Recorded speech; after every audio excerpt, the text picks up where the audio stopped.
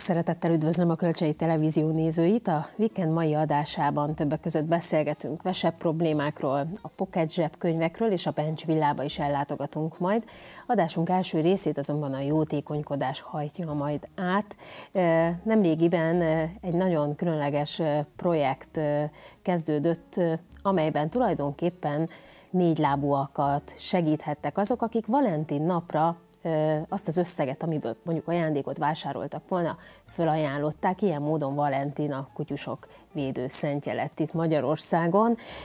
Ez volt a Valentin projekt, amelyről nem sokára Magos Judit koordinátorral beszélgettünk majd. Itt a stúdióban viszont szeretettel köszöntöm Vidra Vettit, aki azt hiszem, hogy nagyon sokat tudna mesélni, akár órákon át arról, hogy gyakorlatilag milyen nemes dolog a kutyákat a halálból megmenteni. Itt Nyíregyháza környékén gyakorlatilag ugye már számadatokat is tudsz, hiszen lezajlott a projekt.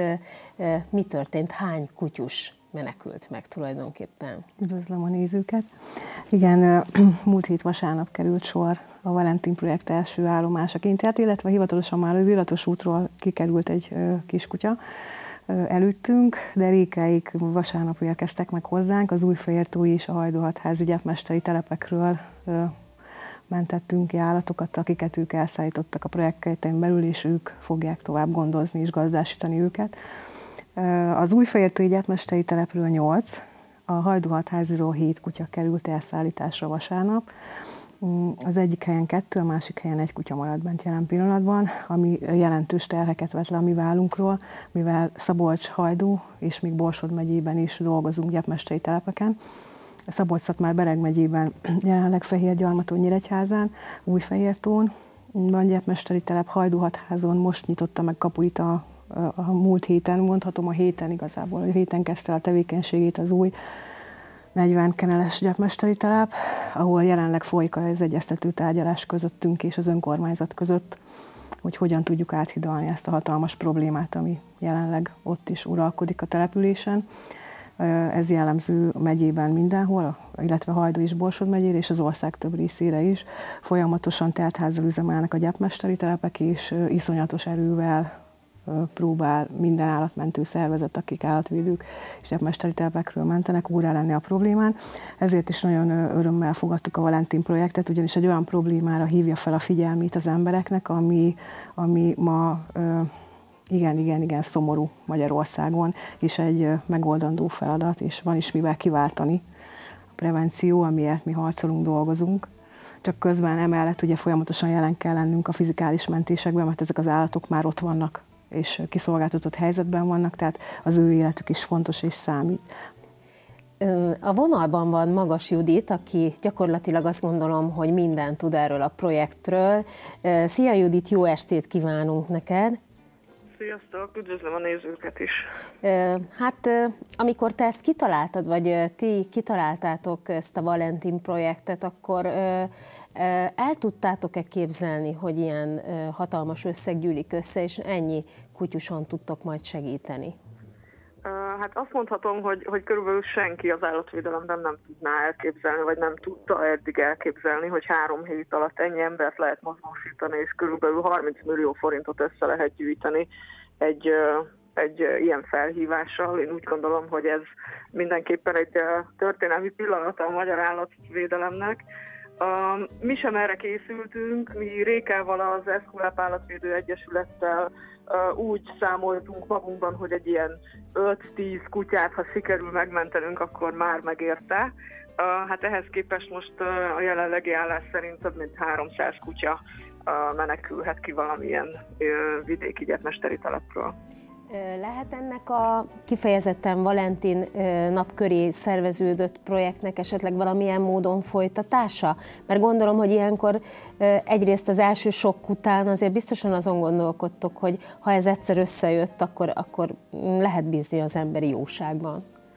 Hát az, én azt gondolom, hogy a legfontosabb, amit ebből le lehet szűrni, természetesen a 300 kutya élet az a legfontosabb nyilván, de hogy emellett, ami, ami a mi fejünkben még inkább kiemelkedő jelentőségű, hogy, hogy tényleg fel tudjuk hívni az emberek figyelmét egy olyan társadalmi problémára, amire általában legyinteni szoktak, hogy nem az én gondom. Tehát a, a vidéki gyepmesteri telepeken a, a halál váró kutyák, az, az nem mindenkinek a problémája, legalábbis az emberek így gondolják. Most viszont, most viszont ezzel a nagy népszerűséggel és ismertséggel és ezzel a marketing kampányal, ami e körül a projekt körül volt, én úgy érzem, hogy, hogy valamiféle megmozdulás történt.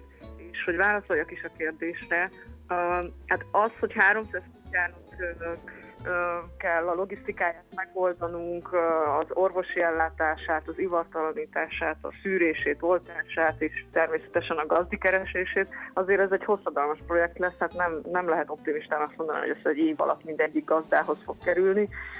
Úgyhogy az, hogy, hogy a jövőben csinálunk-e még ilyet, vagy évekig ezt fogjuk még vinni magunkkal, ezt nem tudom, viszont csak arra tudom biztatni a többi állatvédő szervezetet, hogy, hogy tanuljanak a példánkból, és hajrá, hajrá, tehát hogy az emberekben tényleg van jóság és segítő szándék, és, és ezt meg kellene ragadni, és mindenki lehetne, hogy ebből egy kicsit gyümölcsözően tovább léphet.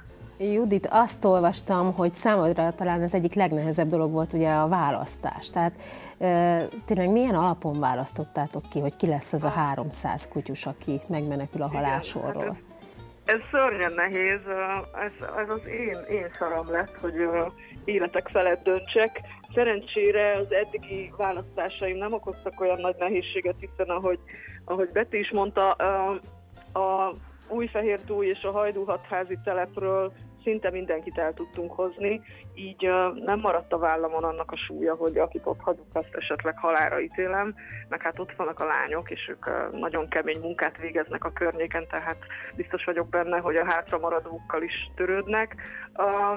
A választás szerintem egyszerűen szimpátia alapon megy, tehát nem, nem tudunk arra nagyon odafigyelni, hogy hogy, hogy milyen a kutya. Nyilván, nyilván nem, nem lehet az szempont, hogy könnyen örökbeadható cuki, habos, babos, fiatal kutya legyen.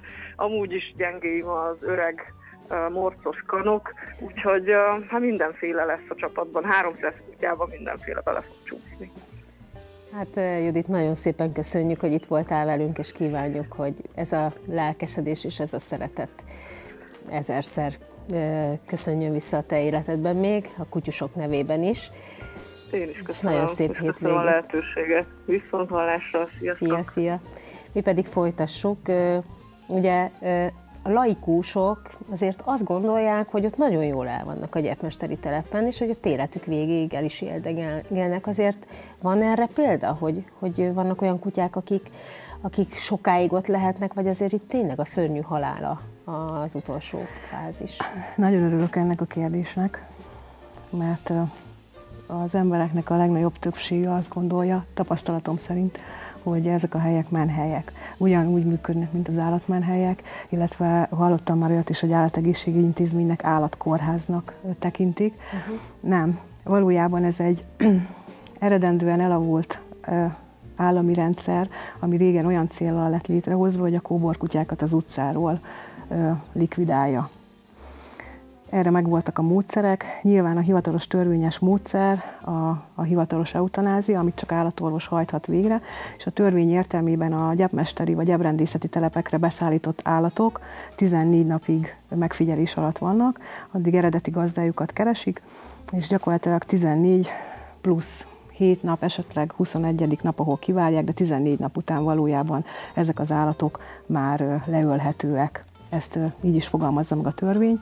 Az ebrendész és gyepmester feladatát külön minisztériumi rendelet szabályozza a bőrözési kritériummal, hogy megfelelően kell tudni a bőrözni. Ez ugye utal a régi rendszernek az alapjaira, hogy mire jött létre ez az uh-huh. intézmény. Napjainkban évek óta küzdünk azért, hogy a gyepmesteri telepek intézményrendszere reformálódjon, és egy olyan humánus szemléletet öltsön magára, amit állatvédők segítségével az állati élet megóvása, a megelőzés, és ezeknek az összegeknek, amit az ebrendészeti és gyepmesei telepek fenntartására fordítanak, ezeket elfelezzük, és kezdjünk el megelőzésben is gondolkodni, hogy ezek az állatok meg sem szülessenek, illetve be se kerülhessenek ezekre a helyekre. Magyarországon számos példa van már arra, hogy gyepmesteri telepeket állatvédők vesznek át üzemeltetésbe. Itt természetesen már nem kerül szóba az eutanázia semmilyen formában, de jelen pillanatban azt kell mondjam, hogy Magyarország területén nagyon sokféle gyepmesteri és ebrendészeti telep működik, vállalkozási formában, illetve önkormányzati üzemeltetésben is. Nagy részt vannak még nagyon sok olyan hely, ami, ami sajnos még a régi rendszer szerint működik. Ezekkel mi folyamatosan azt kell mondjam, harcolunk a háttérben, ez nem nyilvánosan történik. Minden egyes eredményről megpróbálunk beszámolni, amikor is pozitív eredményt érünk el, és sikerül rávennünk egy-egy ilyen telepet a humánus működésre, engedni, hogy beengedje az állatvédőket, és egy picit szemléletet váltson, és a lakosság körében a felelős állattartás, a, a megfelelő gondoskodást, a megfelelő törvényi háttérrel érjék el, és igenis, ahol büntetni kell, ott büntetni kell. Mert vannak olyan állattartók, akik hiába veszük el az állatait, utána újabb állatot kezd tartani, ugyanúgy az utcára kerül, ugyanúgy szaporodik, illetve az ivartalanítás fontossága még kiemelkedő, mint megelőzési forma, hogy adott területeken az önkormányzatokkal együttműködve nagyon-nagyon fontos. Nem csak a lakosság felvilágosítás, hanem a, a lakosság állatainak az ivartalanítása is, hogy megelőzzük azt a hatalmas létszámú szaporulatot, akik utána bekerülnek ezekre a telepekre. Hát köszönjük szépen, Betty. Az biztos, hogy 307 kutyussal tényleg lesz dolgotok, úgyhogy jó munkát kívánunk. Köszönjük szépen, köszönöm a lehetőséget.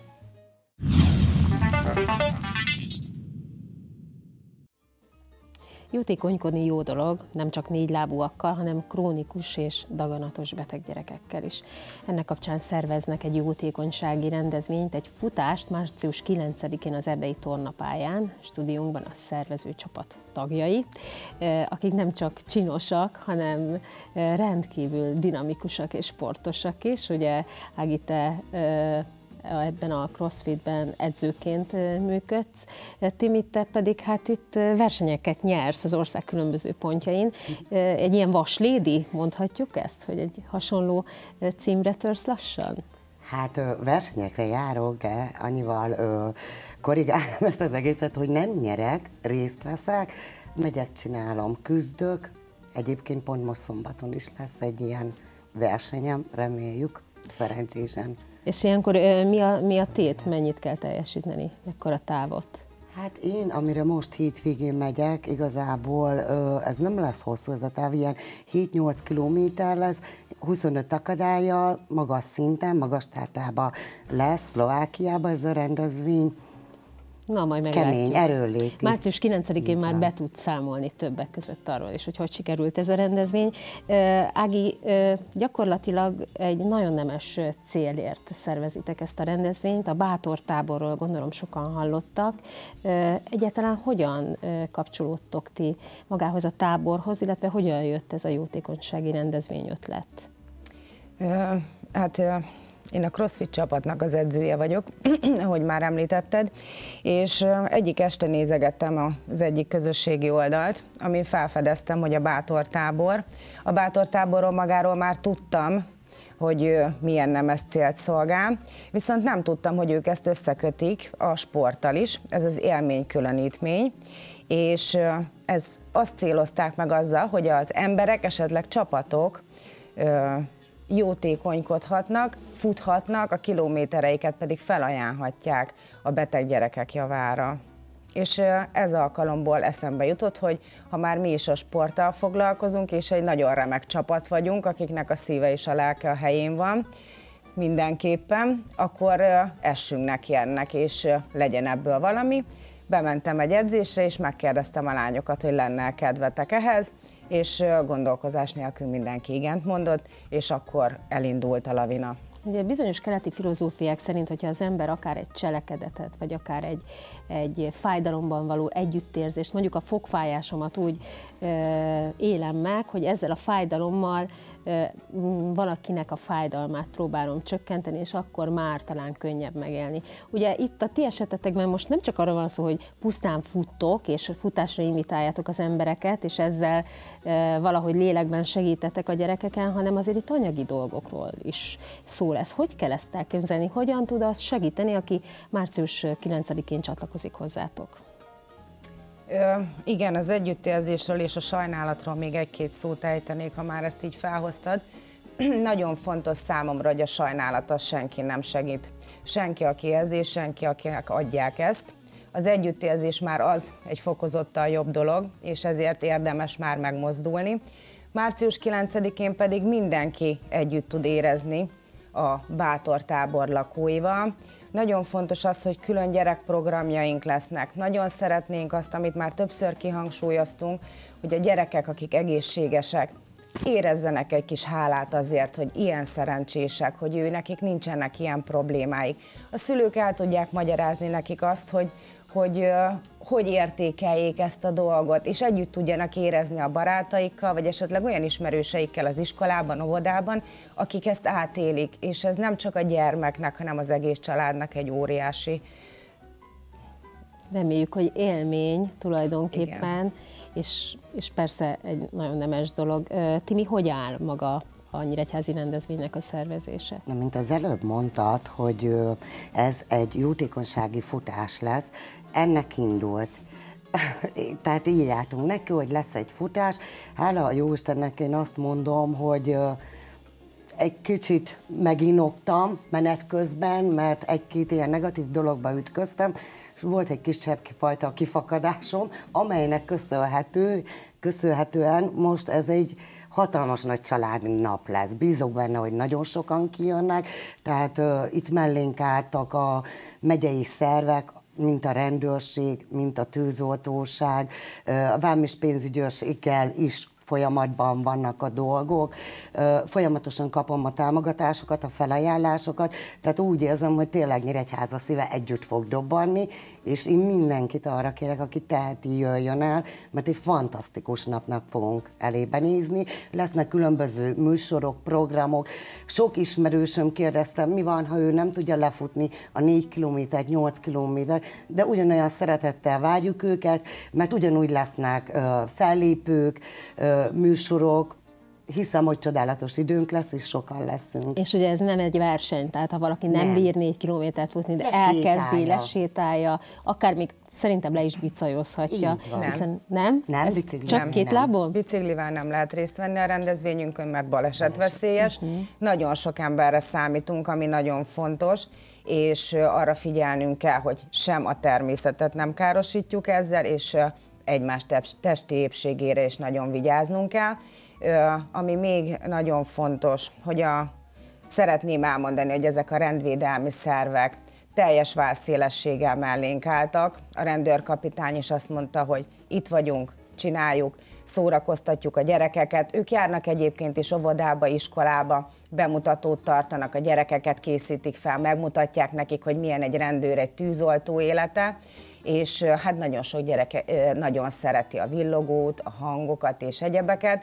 Mindenképpen nagyon érdekes lesz ez a gyerekeknek. A szülők emellett tudnak lapcsánkát enni, például lesznek bográsba főzött ételek, és ez mind az adományozás keretein belül fog történni. Szóval egy nagyon érdekes és egy nagyon eseménydús nap lesz ez a március 9-e. Hát bízunk benne, hogy Nyíregyháza többet ad a bátor tábornak, mint amit esetleg sokan el tudnak képzelni, és gondolom, hogy a magánszemélyek felajánlásait is mm, akár ott a helyszínen is tudjátok fogadni. Így van. Természetesen.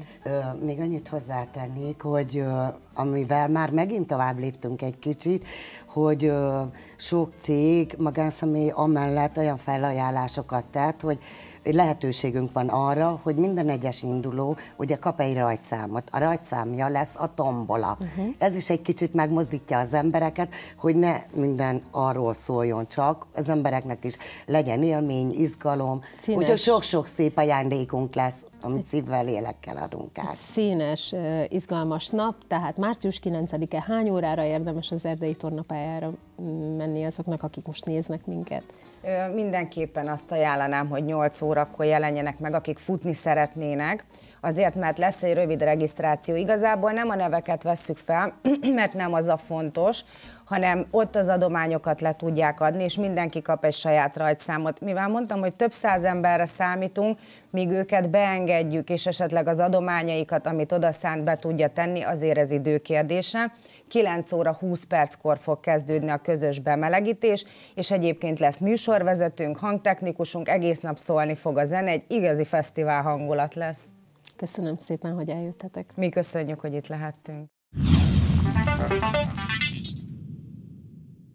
Kedves nézőink, jótékonykodunk tovább. Hogyha délelőtt kifutották magukat az erdei tornapályán, március 9-én, akkor délután érdemes ellátogatni Balkányba, ahol Póta Regina gyógykezelésének támogatására tart jótékonysági előadást a Primavera Balett Együttes.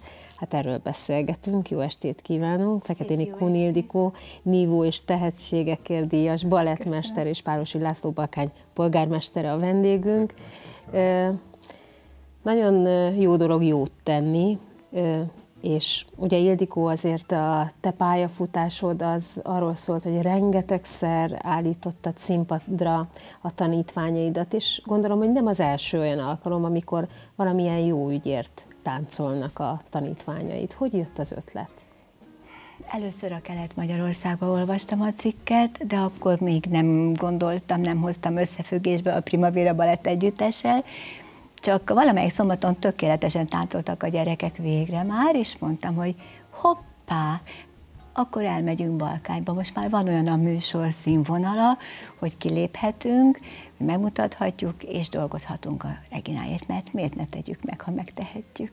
Akkor egy picit mesélj erről az előadásról. Mi mindent láthatnak majd Balkányban azok, akik Nem. szeretnének részt venni egy ilyen jótékonysági előadáson? Izgalmas programot állítottam össze, igyekeztem nagyon változatos dolgokat. A Carmina Burana első tételét Orftól például megkoreografáltam, ami egy kicsit extra, de a rosszul őrzött lány fináléját és ami igazi klasszikus balett, de Kararász énekével a Mentonant, ami megint egy kicsit modern, és igazi kis klasszikusok, a kánkán is benne van, hiszen az újévi koncerten előadtuk, és nagyon jó benne a Primavera, úgyhogy azzal fogjuk majd zárni az első félidőt. És a második pedig egy nagyon érdekes kísérlet, az a címe, hogy Aquatikum, és ez Vangeli zenére készült, héliumos légömbben táncolnak a gyerekek, hogy éreztessük, hogy ez tényleg az akváriumban játszódik, úgyhogy nagyon kilódtak a léggömbbel, de én szerintem már jó nagyon hatásos, úgy érzem, és remélem, hogy aki eljön erre a csodálatos estre, ami Balkányban lesz, és amire örömmel készül az együttes, sőt, fölcsillant a szemük, mert két évvel ezelőtt kis létán is voltunk, ottani gyermekgondozóban autista gyerekekkel foglalkoznak, és nagyon-nagyon szeretnek ilyen helyeken föllépni, mert érzik, hogy adhatnak is valamit, és az nagyon fontos, hogy megtanulják, hogy adni is kell.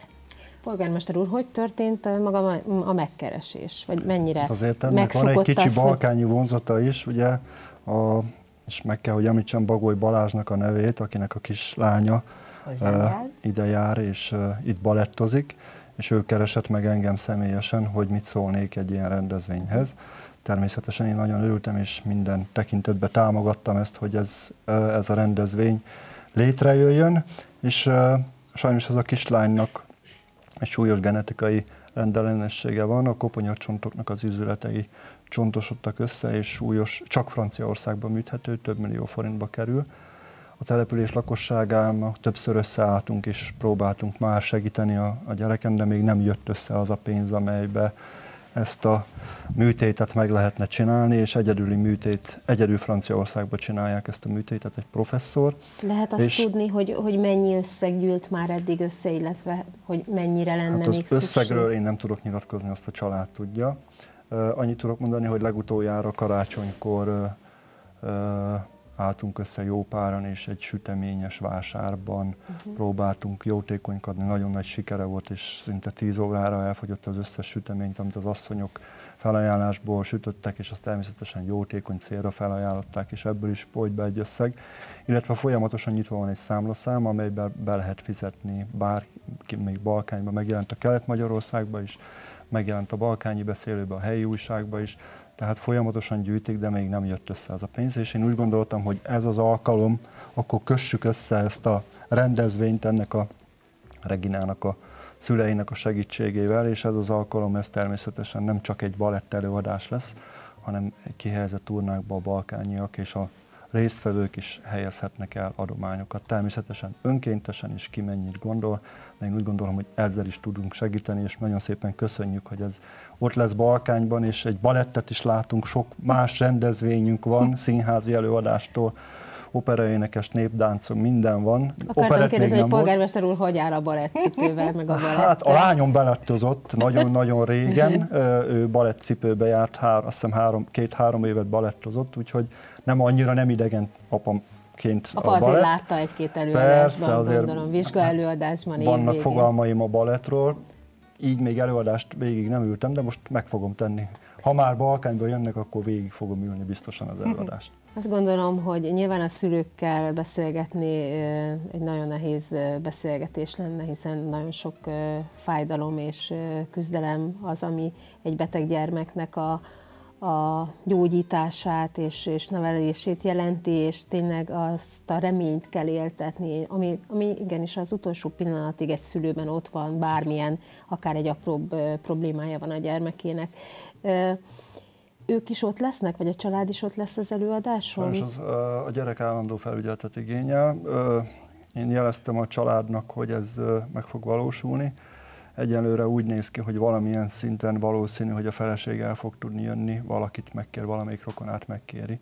Természetesen vala, a családból biztos valaki Tehát meg lesz fog jelenni, képviselő. aki képviseli. Azt most nem ígérem meg, hogy a pont az édesanyja, uh-huh. mert nem tudom ezt bevállalni, de hogy a családból közeli hozzátartozókból többen ott lesznek, ez biztos. Hát, Már csak jó, azért, mert ahogy ugye Ildikó mondtad, hogy igen, meg kell tanítani a gyerekeket arra, hogy, hogy milyen jó dolog segíteni és jót tenni, de tudom, hogy ilyenkor azért jó látni azt, hogy valóban valaki ott van, és, és jó táncolni tulajdonképpen úgy, hogy közvetlenül is van képviselője ennek a nemes ügynek. Már csak egy pár másodpercünk maradt. Hogy alakul a primavéra élete? Lassan itt a tavasz, úgyhogy gondolom, hogy dübörög mindenféle terv és koreográfia ötlete a te fejedben, Ildikó föl vannak pörgetve természetesen, de a március 9-i előadás miatt is hamarabb kell készen lennünk, úgy a jelmezeknek, mint a koreográfiáknak, hogy az gyönyörűen és egyszerre menjen, ha csoportos táncról van szó, nagyon szép a primavérás szülőktől, hogy végül is igyekeznek minél hamarabb a jelmezt megcsináltatni, mert mindenkinek nyilván csináltatják a jelmezt.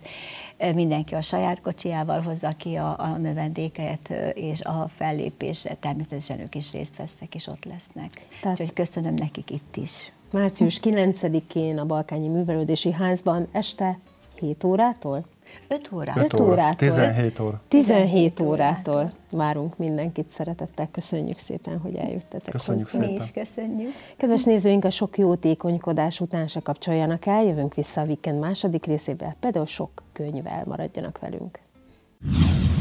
Thank you.